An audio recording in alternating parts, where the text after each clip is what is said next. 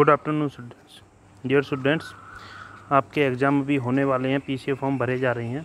तो एग्ज़ाम को लेके बहुत सारे बच्चों में कन्फ्यूज़न है। उसके रिगार्डिंग प्रीवियस वीडियो में हमने बहुत सारे फैक्टरों को डिस्कस किया था कि जो बोर्ड की साइट पर अवेलेबल है। अभी थोड़ी देर पहले एक legal position regarding examination board की साइट पर अपडेट हुआ है। क्या अपडेट है उसमें और क्या उसमें आपके लिए अच्छा है? तो वो सभी आप समझेंगे। तो उसको हम देखते हैं कि बोर्ड की साइट पर आप विज़िट करोगे तो आपको सबसे टॉप में fifteen six two thousand twenty one को अपडेट दिखाई देगा। Legal positioning about examination. तो आपको जब इसको ओपन करोगे तो आपको Delhi high court has dismiss the P L E A seeking C B S E board exam two thousand twenty one to conduct in online mode due to pandemic. तो dear students C B S E ने भी decision दिया है उसके according parent association की तरफ़ से case admit किया गया था जिसमें कहा गया था कि पेंडेमिक के कारण जो एग्ज़ाम है, वो ऑनलाइन मोड में लिए जाएँ।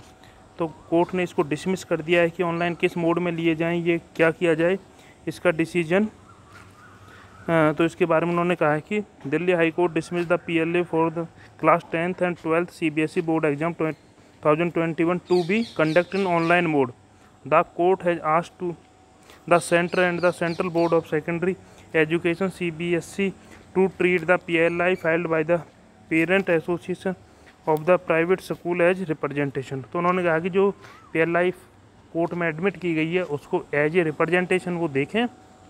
और आगे जो उन्होंने कहा a bench of chief justice D N Patel and justice Jyoti Singh in the hearing set that we are not going to entertain the petition है suggested that the centre and C B S E consider it as representation और the matter be withdraw else the court will dismiss the P L I with cost तो इस uh, के साथ ही उसने P L आई को dismiss कर दिया है कि सी बी एस ई और सेंटर इस चीज़ को एज ए रिप्रजेंटेशन माने।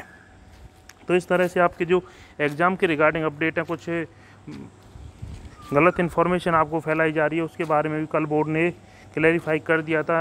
काफ़ी बड़ा लेख बोर्ड की साइड पे है। सारी बातें उसमें पॉइंट टू पॉइंट आपको समझाई गई हैं विद एग्जांपल आपको समझाई गई हैं। तो आप किसी भी तरह की अफवाहों पे ध्यान ना दें, सिर्फ़ और सिर्फ़ अपनी स्टडी पे फोकस करें। आपका मेन टारगेट पढ़ाई करना है और अपने एग्ज़ाम क्रैक करना है। तो सभी बच्चे पढ़ाई पर फोकस करें और अपने एग्ज़ाम की तैयारी करते रहें। एचएसबीटी की साइट को विज़िट करते रहें। जो भी इंफॉर्मेशन जो भी इंफॉर्मेशन एच एस की साइट पे है साइट पे आप एक बार ज़रूर विज़िट करें साइट ज़रूर देखते रहें, किसी भी अफवाह पर ध्यान ना दें ऑफिशियली साइट को विज़िट ज़रूर करें और एग्ज़ाम की अच्छे से तैयारी करें। Thanks to all